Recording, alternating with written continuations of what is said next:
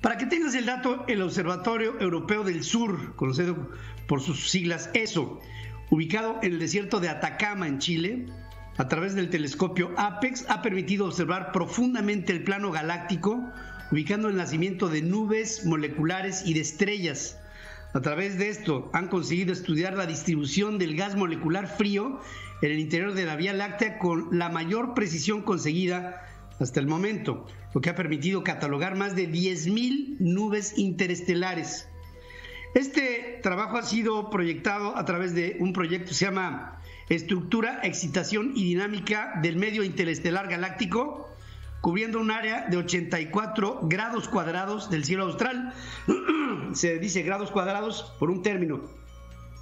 Es un ángulo de incidencia de estudio y los grados cuadrados se cuadricula el área que se está impulsando investigar, que son cuadriculaciones espaciales. Esto habla de un cono que tiene áreas determinadas y se van estudiando por sectores.